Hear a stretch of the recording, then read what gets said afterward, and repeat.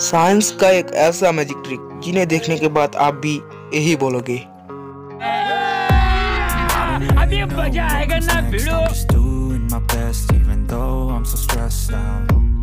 Everything just feels like a test that I fail so depressed when I can't seem to get